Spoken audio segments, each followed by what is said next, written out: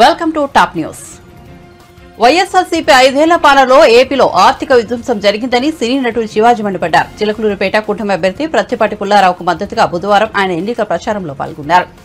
రాష్ట్రంలో ఐదేళ్ళలో జరిగిన ఆర్థిక విధ్వంసంతో ఐదు బుల్లెట్ రైళ్ళు వేయొచ్చని శివాజీ విమర్శించారు. డిగ్రీలు ఈ రోజు నలభై నాలుగు డిగ్రీల్లో ఆయన మీటింగులు చెప్తా ఉన్నాడంటే ఏం ఆయన చూడని పదవా?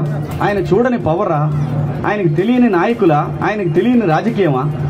లేదు మనిషిగా మనం ఈ భూమి మీద పుట్టినప్పుడు పది మందికి సాయం చేసిపోతే చరిత్ర గుర్తుపెట్టుకుంటుంది. ఒక మనిషి వినాశనం చేసిపోయాడు అని అంటే అది కూడా చరిత్ర గుర్తుపెట్టుకుంటది. మంచి చేయడం చేత కాదు కాబట్టి ఏదో ఒకటి చేద్దామని వినాశనానికి పూనుకున్నాడు మన ఆపద్ధరం ముఖ్యమంత్రి గారు. దయచేసి సోదరులారా మీ అందరికీ చెప్తున్నా వ్యవసాయం దెబ్బతింది ఉద్యోగం దెబ్బతింది నీటిపారుదల రంగం దెబ్బతింది. రోడ్లు దెబ్బతిన్నాయి. రేపు పొద్దున మీ బిడ్డల భవిష్యత్తు ఒకసారి ఆలోచించండి. మీ బిడ్డలకు భవిష్యత్తు లేదు. కొత్తగా కంపెనీలు రావాలా? ఒక మహానగరం నిర్మించబడాలా? ఈ రాష్ట్రంలో ఈ దేశంలో ఒక విప్లవం. చంద్రబాబు నాయుడు గారు అనే మనిషి ఐటీ రంగంలో ఒక విప్లవం తీసుకొచ్చాడు. ప్రతి ఒక్కరికి తెలిసి ఈ విషయం. ప్రపంచానికి తెలిసి ఈ విషయం. కానీ మనకు తెలిసి కూడా తెలిసి తెలియనట్లు నటించాలనుకుంటారు కొంతమంది. ఇక మీద నటించారు అని అంటే మాత్రం మీ బిడ్డలకి భవిష్యత్తు ఉండదు. మనం బతికేది మన పిల్లల కోసం. అటువంటి పిల్లల్ని మనం వాళ్ళ జీవితాలని పైకి తీసుకెళ్ళాలి అని అనుకుంటే ముందుకు తీసుకెళ్ళాలి అనుకుంటే దయచేసి ఇంకొకసారి మాత్రం తప్పు చేయకండి. దయచేసి చంద్రబాబు నాయుడు గారిని కూటమిని ఆ కూటమి అభ్యర్థుల్ని ఎన్నుకోండి. పవన్ కళ్యాణ్ లాంటివి ఒక నిజంగా ఆంధ్రప్రదేశ్ రాజకీయాల్లో ఒక కొత్త ఒరవడే చంద పవన్ కళ్యాణ్ గారు. అట్లీస్ట్ ప్రశ్నించేవాడు ఒకడు ఉండాలి అక్కడ. గట్టిగా ప్రశ్నించేవాడు ఒకడు ఉండాలా. పిఠాపురంలో కూడా అత్యధిక మెజారిటీతో ఆయన్ని గెలిపించండి. ప్రజలంటే భయపడాల రాజకీయ నాయకులు. ఈ రోజున రాజకీయ నాయకుల్లో చాలా మందికి భయ ప్రజలంటే భయం లేదు. ముఖ్యంగా జగన్మోహన్ రెడ్డి గారికి. నేనేం చెప్తే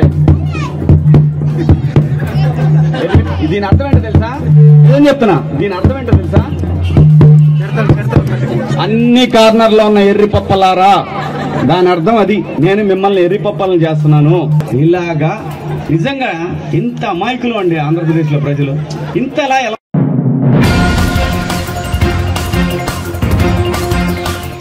వైఎస్ఆర్సీపీ మేనిఫెస్టో తెల్ల కాగితంతో సమానమని ఎన్టీఆర్ తనయుడు నందమూరి రామకృష్ణ వ్యాఖ్యానించారు.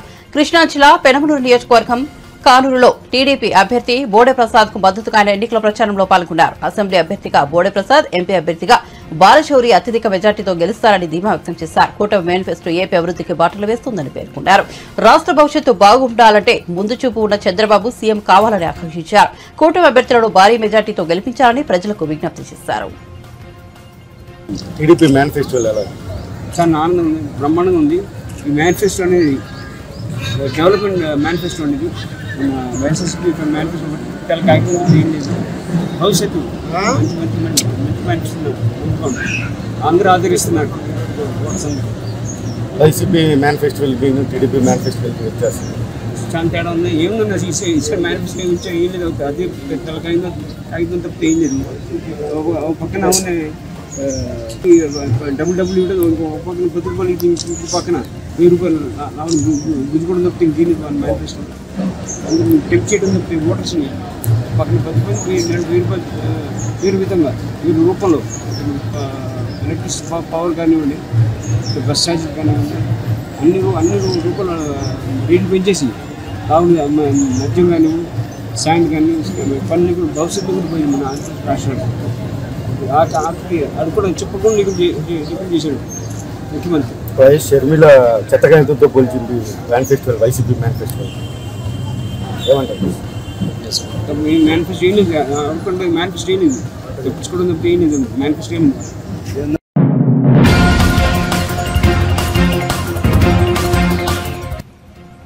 గడప గడపకు మన ప్రభుత్వం సిద్ధం. మేమంతా సిద్ధం వంటి కార్యక్రమాలు తీసుకొచ్చిన వైసీపీ మరో పదకొండు రోజుల్లో ఎన్నికలు రానుండగా కొత్త కార్యక్రమం చేపట్టింది. ఈ కార్యక్రమం పేరు కలలు నిజం చేయడానికి జగన్ కోసం సిద్ధం. ఇప్పటికే దీనికి సంబంధించిన హోర్డింగ్లు పోస్టర్లు రాష్ట్ర వ్యాప్తంగా దర్శనమిస్తున్నాయి. ఇటీవల సీఎం జగన్ వైసీపీ ఎన్నికల మేనిఫెస్టో విడుదల చేయడం తెలిసిందే. ఈ మేనిఫెస్టో ప్రతి ఇంటికి చేరవేయడమే జగన్ కోసం సిద్ధం కార్యక్రమం ముఖ్య ఉద్దేశం. ప్రజలే తమ స్టార్ క్యాంపెయిన్లని ఇటీవల సభలో తరచుగా చెబుతున్న సీఎం జగన్ ఈ కార్యక్రమం ద్వారా ప్రజలకు కూడా తమ ప్రచార పర్వంలో భాగం చేయనున్నారు. మీయొద్దని చెప్పిన దమ్మున్నడు జగను. చెప్పిన మాట ఊహ చెప్పినట్టుగా. చేసిన మా రాజన్న కొడుకుర జగను. ఏ కష్టం రావద్దని పేద గుండెకు. ప్రతి పథకం పంపిండుర గడప గడపకు పులి గడపలో పులి పుట్టినట్టే పుట్టిండురా. జెండలు జత కట్టడమే మీ ఎజెండో. జనగుండల గుడి కట్టడమే జగను ఎజెండో. బలిరా.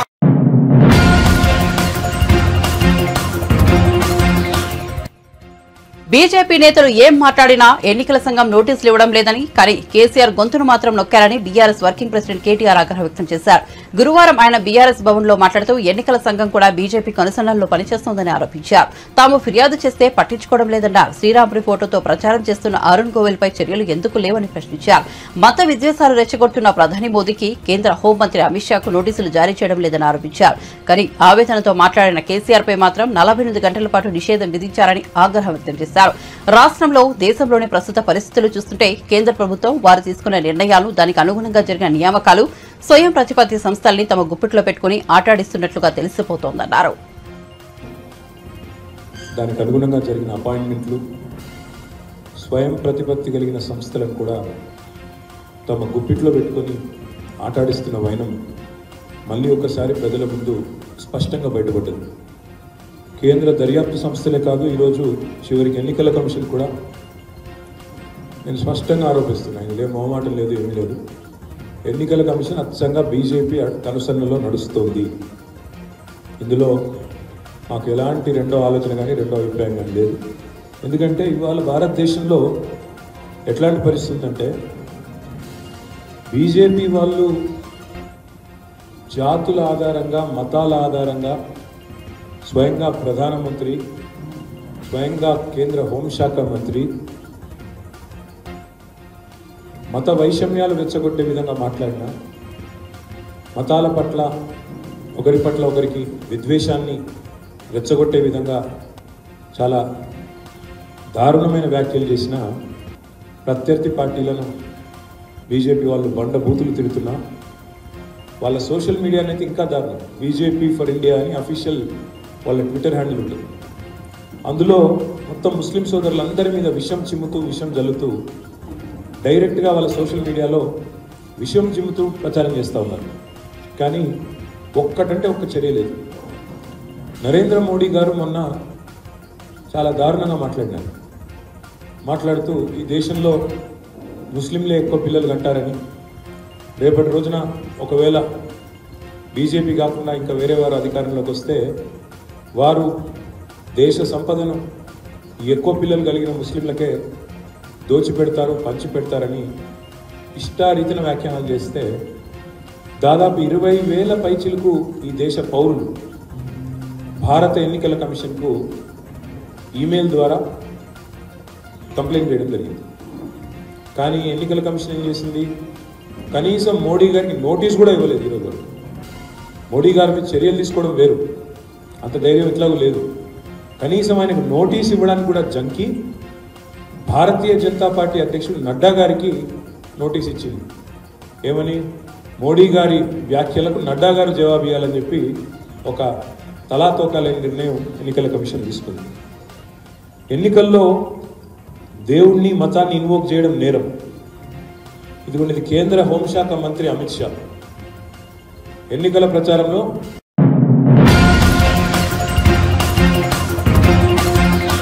సీఎం రేవంత్ పై నిజామాబాద్ బీజేపీ ఎంపీ అభ్యర్థి ధర్మపురి అరవింద్ కీలక వ్యాఖ్యలు చేశారు. జూలై పద్నాలుగు రేవంత్ రెడ్డికి డెడ్ లైన్ అని హెచ్చరించారు. జగిత్యాల జిల్లా కోర్టులలోని ఐలాపూర్ మల్లాపూర్లలో ధర్మపురి అరవింద్ ఎన్నికల ప్రచారం నిర్వహించారు. ఈ సందర్భంగా ఆయన మాట్లాడుతూ పదేళ్ళ పాలనలో కేసీఆర్ కొన్ని అయినా హామీలు అమలు చేశారని రేవంత్ ఆరు గ్యారంటీలను పట్టించుకోవట్లేదని మండిపడ్డారు. ఆల్రెడీ బ్యాగులు మోసిన కేసు దగ్గర పడ్డది. ఆల్రెడీ సంచులు మోసిన కేసు దగ్గర పడ్డది. జూలై పద్నాలుగు రేవంత్కి డెడ్ లైన్. కాంగ్రెస్ వాళ్ళు పండగ చేసుకుంటారట కోమటిరెడ్డి వెంకటరెడ్డి ఉత్తమ్ కుమార్ రెడ్డి బట్టి విక్రమార్క రోజు పండగ చేసుకుంటారట జూలై పద్నాలుగు ఎప్పుడు వస్తుంది ఎప్పుడు వస్తుంది ఎప్పుడు లోపల పోతాడు జైల్లోకి పోతాడు Revanth Reddy SC ST BC reservation ముట్టేది లేదు. ఎవ్వరు వచ్చాళ్ళకెళ్ళి తీసుకొని ముస్లింలకు ఇచ్చేది లేదు.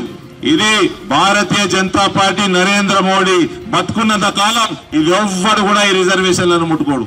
నీ గ్యారంటీల సంగతి ఏంద్రా అని అడుగుతావని అందరిని మభ్యపెట్టనీకి అందరిని టాపిక్ డైవర్ట్ చేయనీకి కొత్త పూటకం పెట్టిండు. నువ్వు ముఖ్యమంత్రి గుడ్లు మోసుడైందా సభల? ఆ ముఖ్యమంత్రి లెక్కున్నాడు ఆయన? పక్కకి సరే ఈ ముఖ్యమంత్రి అంటే అందరిని తిట్టుకుంటా భాష వ్యవహారం రేవంత్ది అందరికీ తెలుసు. ఈ పెద్ద మనిషికి ఏందని ఆయన కూడా గుడ్లు పోస్తున్నాడు ఈ డెబ్బై ఐదు సంవత్సరాల జీవన్ రెడ్డి కూడా గుడ్లు పోస్తాడా పక్కకు చెప్పాలా రేవంత్ రెడ్డికి? ఏమైనా నువ్వు ముఖ్యమంత్రి అయినా మర్చిపోయినావా? అని చెప్పాలి నా చెప్పడమే ఈయన కూడా గుడ్లు మోస్తున్నాడు. ఈ గుడ్డు మోస్తాడా పోయి పార్లమెంట్కి ఓట్లేస్తే. కాబట్టి అంతా చిల్లర చిల్లర చేస్తున్నారు రాజకీయాలు అబద్ధాలు చెప్తున్నారు ప్రజల్ని మోసం చేస్తున్నారు. ఆ కేసీఆర్ మోసం చేసి చేసి ఆ కేసీఆర్ అన్న పదమూడు సంవత్సరాలు తెలంగాణ కోసం కొట్లాడిండు. ఇచ్చిన రోజులు రైతు బంధు ఇచ్చిండు కరెంట్ ఇచ్చిండు. ఇంకోటి ఏంది మన అదేంది? పెన్షన్ రెండు వేలకు పెంచిండు. అది అన్నీ అయిపోయినాక వేరే మస్తు వాగ్దానాలు ఇండ్లు కట్టియాలి. అంటే ఏందా ఏమంటారు అది? కుండలు పెట్టి బిందెలు ఎత్తకపోయినా అది వేరే విషయం. కానీ కుండలనే పెట్టిండు. కుండ లేదు బిందె లేదు గుడ్డు లేదు కాకరకాయ లేదు.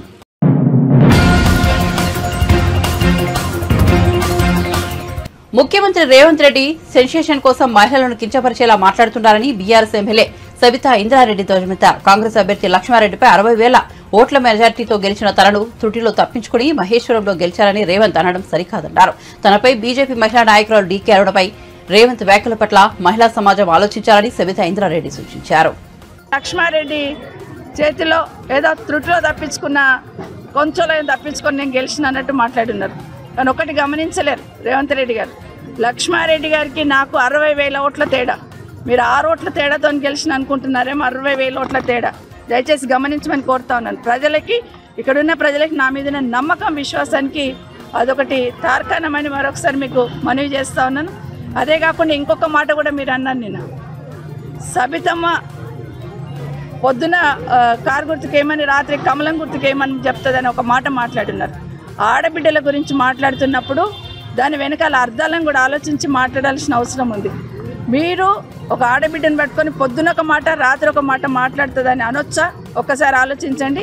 ఇదే కాదు తెలంగాణ రాష్ట్ర మహిళలందరూ గమనిస్తూ ఉన్నారు. మీరు ఏ విధంగా మాట్లాడుతున్నారు? మహిళలను ఏ విధంగా కించబడుతున్నారు కించపరుస్తున్నారు? మొన్న డీకే అరుణ గారితో మాట్లాడుతూ పండబెట్టి తొక్కుకుంటా పోతాము అని ఒక మహిళ కూడా చూడకుండా ఆమె మీద కామెంట్ చేశారు. ఈరోజు నేను ఒక లేడీని కూడా చూడకుండా పొద్దున ఒక మాట రాత్రి ఒక మాట మాట్లాడుతాను మాట్లాడినారు మీలాగా ముందు మీలాగా ఎదుటి పార్టీ వాళ్ళకి సహకరించే విధంగా నేను మాట్లాడాను. ఎందుకంటే కొండా విశ్వేశ్వరరెడ్డి చాలా మంచోడని మీరే మీ వేదిక మీద చెప్పారు. అంటే ఇండైరెక్ట్గా మీ పక్కనున్న మీ క్యాండిడేట్ మంచోడు కాదనే కదా? ఇది ప్రజలందరూ గమనిస్తూ ఉన్నారు. మీరే బీజేపీ పార్టీని గెలిపించడానికి ఈ రాష్ట్రంలో కంకణం కట్టుకున్నారనేది ప్రజలకు తెలుసు.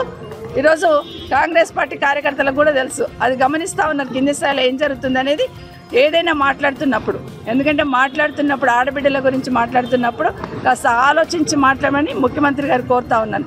ఎందుకంటే ఏ మాట మాట్లాడుతున్నా కూడా ఏదో సెన్సేషనల్ కోసం దయచేసి మాట్లాడొద్దని మరొకసారి విజ్ఞప్తి చేస్తూ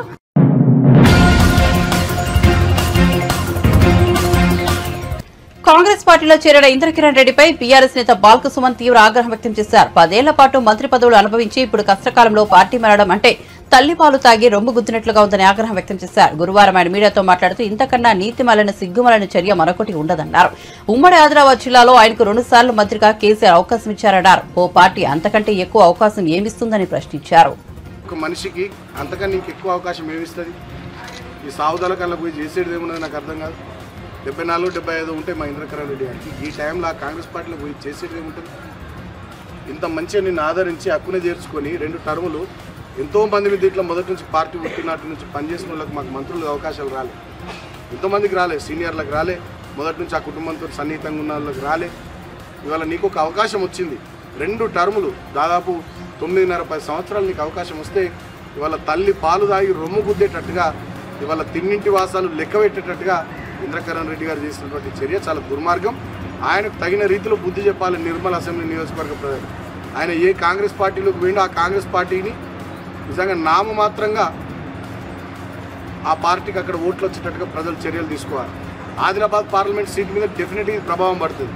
పెద్దపల్లి పార్లమెంట్ సీట్ మీద కూడా డెఫినెట్గా ప్రభావం పడుతుంది. కాంగ్రెస్ పార్టీ ఇట్లా ఇటువంటి వాళ్ళందరినీ కూడా ఇటువంటి వాళ్ళందరినీ కూడా కాంగ్రెస్ పార్టీ చేర్చుకోవడం ద్వారా కాంగ్రెస్ పార్టీ ఇవాళ మలినమైపోతుంది. నిజమైన కాంగ్రెస్ పార్టీ కార్యకర్తలు జెండాలు మోసిన వాళ్ళు చెప్పులు అరిగేలా తిరిగిన వాళ్ళు పార్టీ కోసం పదేళ్ళు ప్రతిపక్షంలో ఉన్నప్పుడు కష్టపడ్డ వాళ్ళ హృదయాలు ఇవాళ నిజంగా బాధపడుతున్నాయి ఇది కరెక్ట్ పద్ధతి కాదని చెప్పి వాళ్ళంతా ఎంతో ఆవేదన చెందుతున్నారు. కాబట్టి డెఫినెట్గా ఐక్యరెడ్డి గారు తీసుకున్నటువంటి నిర్ణయం చాలా తప్పుడు నిర్ణయం. దానికి తగిన రీతిలో ప్రజలే ఆయనకు జవాబు చెప్తారు. ఎందుకంటే ప్రజలు ఇటువంటి సహించరు. నేను ఒక ఉదాహరణ చెప్తున్నా. ఇవాళ నాలుగు సీట్లలో మా మా పార్టీ వాళ్ళని తీసుకొని పోయి క్యాండిడేట్లో పెట్టిన రేవంత్ రెడ్డి. ఈ నాలుగు చోట్ల కాంగ్రెస్ పార్టీ థర్డ్ ప్లేస్ పోతుందని సునీల్ కనుగోలు టీం సర్వే చెప్తా ఉంది. దాని ఇంపాక్ట్ రాష్ట్రమంతా కూడా పడుతున్నది ఈ నలుగురిని అభ్యర్థులు పెట్టడం వల్ల మల్కాజ్గిరిలో సునీత మహేందర్ రెడ్డి గారు సికింద్రాబాద్లో దానం నాగేందర్ గారు చేవెళ్ళలో రంజిత్ రెడ్డి గారు వరంగల్లో కడియం కావ్య గారు. ఈ నలుగురిని మా పార్టీ నుంచి తీసుకొని పోయి కాంగ్రెస్ పార్టీ ఎంపీ అభ్యర్థులుగా పెట్టడం వల్ల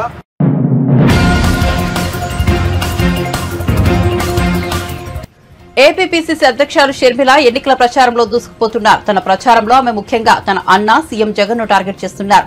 కడప జిల్లా పెద్దముడియం మండలంలో షర్మిల మాట్లాడుతూ జగన్ పై మరోసారి విమర్శనాస్త్రాలను సంధించారు.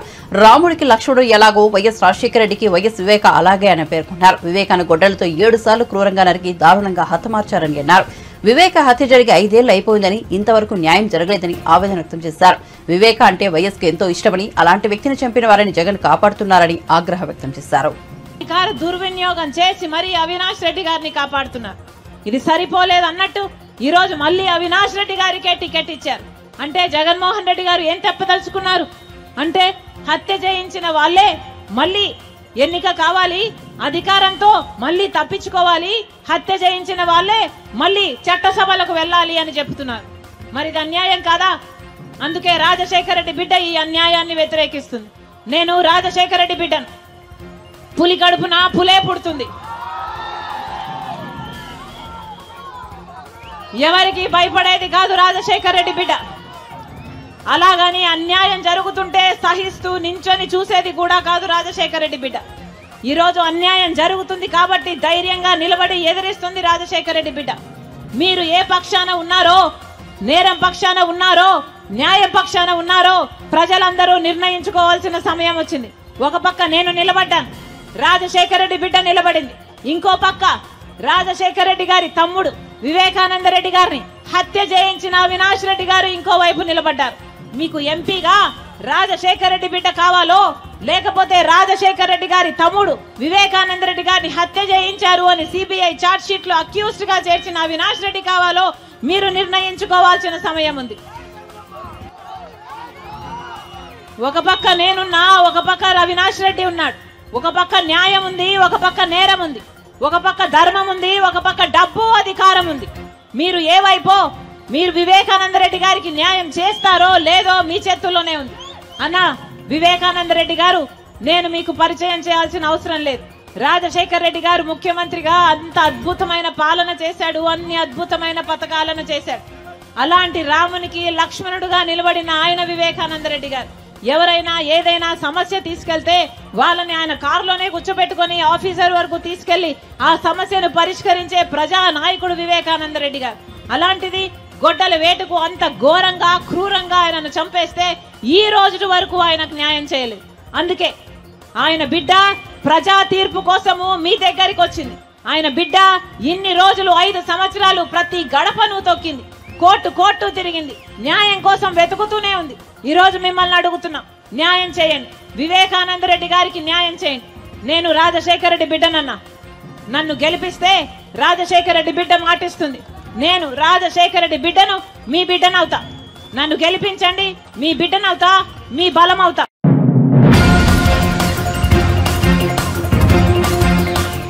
పింఛన్దారులను ఇబ్బందులకు గురి చేసిన ఐఏఎస్ అధికారులు జవహర్ రెడ్డి మురళీధర్ రెడ్డి శశిభూషణ్ కుమార్ ధనుంజయ రెడ్డిలపై మాజీ మంత్రి డిఎల్ రవీంద్రరెడ్డి ఆగ్రహం వ్యక్తం చేశారు.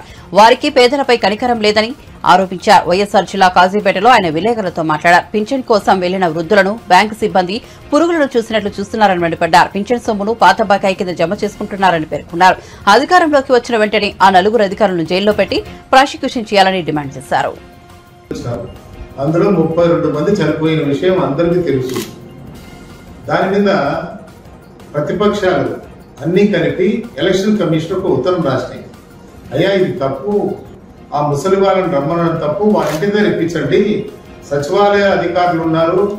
రాష్ట్రంలో చాలా మంది అధికారులు ఉన్నారు. ఖాళీగా ఆ అధికారులతో గతంలో వాలంటీర్లు ఎట్లా ఇచ్చేవాళ్ళు ఇంటి దగ్గర పోయి ఆ మాదిరి ఇమ్మమని చెప్పి వీళ్ళు ఎలక్షన్ కమిషన్ను కోరితే chief election commissioner election electoral officer రాస్తే chief election commissioner chief secretary రాసినాడు ఇంటికి పోయి ఇవ్వమని రాయలేదని వీళ్ళు అంటారు. జవహర్ రెడ్డి అనేవాడు కడప జిల్లా వాడే. అతన్ని చీఫ్ సెక్రటరీగా పెట్టుకునే రోజులు జగన్మోహన్ రెడ్డి పాలనే సాగుతుంది. దాంట్లో ఏం డౌట్ లేదు. అట్లానే మురళీధర్ రెడ్డి అని దీనికి సంబంధించిన ఆఫీసర్.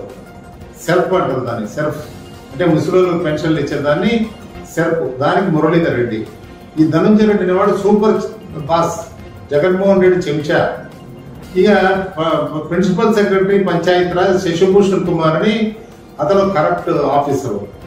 ఈ శశిభూషణ్ కుమార్ ఏమని ప్రెస్ స్టేట్మెంట్ ఇచ్చినాడు? మీకు బ్యాంకు బ్యాంకుకు పంపిస్తాము మీ పెన్షన్ మీ బ్యాంకులో మీరు డ్రా చేసుకోండి అని చెప్పి. అసలు ఈ నలుగురు ఆఫీసర్లకు ఐఏఎస్ ఇచ్చిన వాళ్ళని అడగాల. ఎట్లా ఇచ్చినారు ఐఏఎస్లకని వీళ్ళు అసలు దానికి ఎట్లా జరుగుతుంది? బ్యాంకులకు ఎట్లా ఇస్తారు? ఎట్లా బ్యాంకులకు బ్యాంకులు వేస్తారు ఎట్లా ముసలిలో పోయి తెచ్చుకోవాలనే ఆలోచనే లేకుండా ఇవాళ ఎంత ఘోరమైన పరిస్థితి ముసలిలో కల్పించారంటే నిన్న నిన్న ఒక బ్యాంకు పోయి ఒక ముసలాయన పోయి చనిపోయినాడు ఎండకు.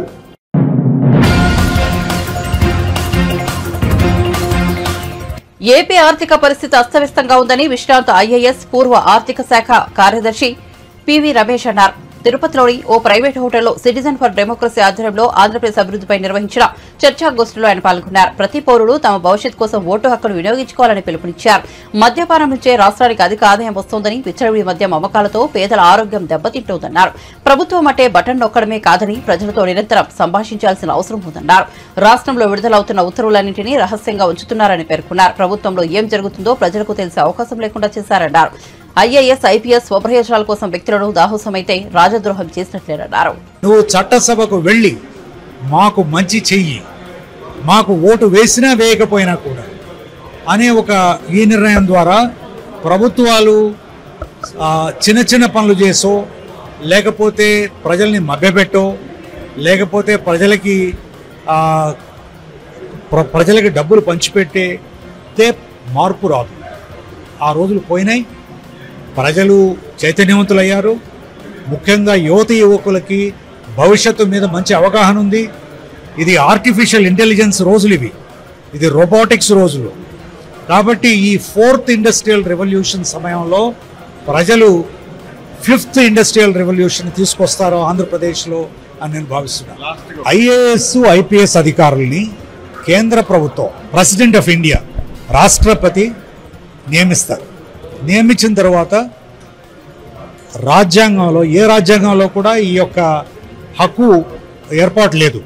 మన రాజ్యాంగంలో ఆర్టికల్ మూడు వందల తొమ్మిది నుంచి మూడు వందల పదకొండు వరకు కూడా ఆల్ ఇండియా సర్వీసెస్ వాళ్ళకి కొన్ని నిబంధనలు కల్పించారు. అవి ఏమిటంటే మిమ్మల్ని కేంద్ర ప్రభుత్వం అనుమతి లేకుండా ఉద్యోగం నుంచి తీసేయడానికి వీల్లేదు. కేంద్ర ప్రభుత్వ అనుమతి లేకుండా మిమ్మల్ని సస్పెండ్ చేయడానికి వీల్లేదు. ఒకవేళ అనివార్య కారణాల వల్ల మీరు చేసినట్లయితే మీరు వెంటనే కేంద్ర ప్రభుత్వం అనుమతి తీసుకోవాలి. ఇవి ఇటువంటి కొన్ని నిబంధనలు ఉన్నాయి. ఇదంతా ఎందుకు క్రియేట్ చేశారంటే ఏ రాజకీయ పార్టీ అధికారంలోకి వచ్చినా కూడా ఈ అధికారులు ముప్పై ఐదు నుంచి ముప్పై ఆరు సంవత్సరాల పాటు అధికారంలో ఉంటారు. వీళ్ళు ఉన్నదెందుకు ఒక ప్రభుత్వం నుంచి ఒక ప్రభుత్వానికి ఒక పార్టీ నుంచి ఇంకొక పార్టీకి. వీళ్ళు కంటిన్యూటీ ఏర్పాటు చేసి ప్రభుత్వ విధానాలు ప్రభుత్వం ముందుకు వెళ్ళే దారి చూపిస్తారనే ఉద్దేశంతో ఏర్పాటు చేశారు.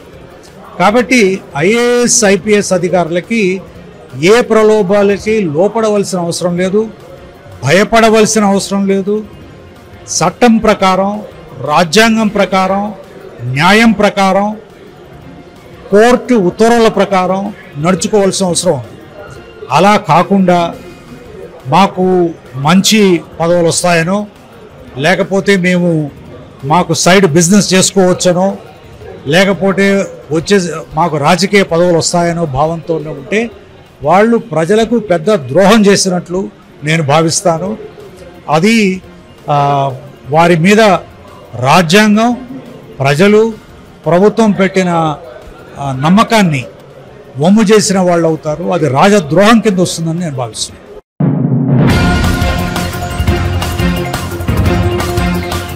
టీడీపీ నేత కొమ్మారెడ్డి పట్టాభిరామ్ ఏపీ సీఎం జగన్మోహన్ రెడ్డిపై తీవ్ర ఆరోపణలు చేశారు. వైసీపీ ఐదేళ్ళ పనుల్లో ఎనిమిది లక్షల కోట్ల అవినీతి జరిగిందని ఆరోపించారు. మంగళగిరిలోని టీడీపీ ప్రధాన కార్యాలయంలో బీజేపీ జనసేన నేతలతో కలిసి ఆయన నిర్వహించిన మీడియా సమావేశంలో ఈ వ్యాఖ్యలు చేశారు. పట్టాభిరామ్ మాట్లాడుతూ అవినీతికి చెక్ పెడితే సంక్షేమ కార్యక్రమాలను చాలా ఈజీగా అమలు చేసే అవకాశం ఉంటుందని తెలిపారు. తమ కూటమి ప్రభుత్వం అధికారంలోకి వచ్చిన తర్వాత అవినీతిని అరికట్టడంతో పాటు రాష్ట్ర ఆదాయాన్ని పెంచుతామని అన్నారు. అలాగే కూటమి మేనిఫెస్టోలోని ప్రతి హామీని అమలు చేస్తామని స్పష్టం చేశారు. ఆ సందర్భంలో ఆయన దృష్టికి వచ్చినటువంటి అనేక అంశాలు. అదేవిధంగా జనవాణి పేరుతో మరి పవన్ కళ్యాణ్ గారు జనసేన పార్టీ ఏదైతే ఒక కార్యక్రమం చేపట్టిందో మరి దాని ద్వారా కూడా అనేక వినతులు రావటం జరిగింది. అంతేకాకుండా మరి మూడు పార్టీలు కలిపి ప్రజల వద్ద నుంచే నేరుగా సలహా సూచనలు స్వీకరించడం కోసం ఒక వాట్సాప్ నంబర్ను కూడా మేము అందుబాటులోకి తీసుకొచ్చాం. మరి మూడు పార్టీలు కలిసి మరి ఇదే వేదికపై నుండి ఆ పోస్టర్ని విడుదల చేసి నేరుగా ప్రజలకే అవకాశం ఇచ్చాం. ఇంకా కూడా ఏమైనా మీ వద్ద నుంచి మీ సమస్యలుంటే తెలియజేయండి. వాటికి కూడా మేము ఒక పరిష్కారాన్ని ఇస్తామని మేము ఒక వాట్సాప్ నంబర్ రిలీజ్ చేస్తే లక్ష ముప్పై వేల వినతులు ఆ నంబర్కి రావటం జరిగింది. లక్షా ముప్పై వేలు. అంటే దీనిని బట్టి మీరు అందరూ అర్థం చేసుకోవచ్చు. అంటే ఎంత భారీ ఎక్సర్సైజ్ జరిగిందో ఇదేదో మేనిఫెస్టో అనేది ఒకరోజు విరామం తీసుకుని ఈ సైకో కూడా తయారు చేశాడు మేనిఫెస్టో ఏదో ఆయన గారి బుస్సు యాత్రలో ఒకరోజు విరామం తీసుకున్నాడంట. పొద్దునుంచి సాయంత్రం వరకు ఆయన భజన గ్యాంగ్ని చుట్టూ కూర్చోబెట్టుకున్నాడంట. మేనిఫెస్టో తయారు చేశాడంట. అందుకనే ఇది ఇవాళ ఒక చిత్తు కాగితంలా మారిపోయింది. ఇవాళ దీన్ని ఒక చిత్తు కాగితంగా భావించి చెత్తబుట్లో వేస్తా ఉన్నారు. కానీ మా మేనిఫెస్టో ఎంత కసరత్తు జరిగిందో. ఎంత భారీ ఎక్సర్సైజ్ తర్వాత ప్రజల ఆకాంక్షలు నెరవేర్చే విధంగా రూపొందిందో ముందుగా ఆ వ్యత్యాసాన్ని గమనించాలి. అందుకనే ఇవాళ ఇది బ్లాక్ బస్టర్ హిట్ ఇది బ్లాక్ బస్టర్ హిట్ ఇది ఒక అటర్ ఫ్లాప్ చిత్తుకాహితంగా మారిపోయింది.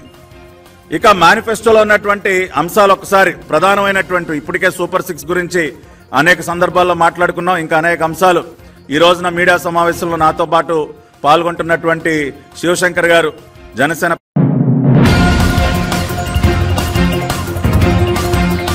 రాహుల్ గాంధీని ప్రధాని చేసేందుకు పాకిస్తాన్ తహతహలాడుతోందని ప్రధాని నరేంద్ర మోదీ ఎద్దేవా చేశారు. రాహుల్ గాంధీపై పాక్ మాజీ మంత్రి ప్రశంసలు కురిపించారు. ఆయన వ్యాఖ్యల నేపథ్యంలో ప్రధాని గురువారం స్పందించారు. గుజరాత్లో ఎన్నికల ప్రచారంలో పాల్గొన్న ప్రధాని మోదీ మాట్లాడుతూ కాంగ్రెస్ యువరాజు కోసం దాయాది పాక్ నేతలు కూడా ప్రార్థనలు చేస్తున్నారని ఎద్దేవా చేశారు. కాంగ్రెస్ పాక్ మధ్య బంధం మరోసారి తేటతెల్లమైందన్నారు దేశంలో కాంగ్రెస్ నానాటికి బలహీనపడుతోందని ఇక్కడ కాంగ్రెస్ దిగజారిపోతుంటే పాకిస్తాన్ కన్నీళ్ళు పెట్టుకుంటుందని వ్యాఖ్యానించారు. కాంగ్రెస్ పార్టీ పాక్ అభిమాని అని దీంతో రాహుల్ గాంధీని ప్రధానిగా చేయాలని ఉవ్విల్లుతోందని చురకలాడించారు భారత్ బలహీనంగా ఉండాలని మన శత్రువులు కోరుకుంటారని పేర్కొన్నారు. రెండు వేల పద్నాలుగు ముందు ఉన్న ప్రభుత్వం మరోసారి రావాలని దాయాది దేశం కోరుకుంటోందన్నారు. మోదీ ఆనే తక్ దేశ్ దో సంవిధాన్ థే एक संविधान से देश चलता था, दूसरे संविधान से जम्मू कश्मीर चलता था। क्या ये बाबा साहब आंबेडकर का अपमान नहीं था? क्या ये भारत के संविधान का अपमान नहीं था? क्या हिंदुस्तान के कोटि कोटि जनों का अपमान नहीं था? मैं सरदार पटेल की भूमि से आता अगर सरदार पटेल होते तो देश का संविधान जम्मू कश्मीर में भी शान से लगा होता है। लेकिन जो काम सरदार साहब का अधूरा रह गया, ये धरती का संतान, आपका संतान, ये सेवक उसे पूरा कर पाया। 370 गई 370 को ज़मीन में गाड़ चुका हूँ। और मैं मैं कांग्रेस के शाही परिवार को, कांग्रेस के शाहजादे को खुली चेतावनी देता हूँ। अगर उनके हिडन एजेंडा है तो हिम्मत के साथ देश के सामने आके कहे कि वो धारा 370 फिर से लागू करेंगे। मैं देखता हूँ बाबा साहब आंबेडकर का अपमान करने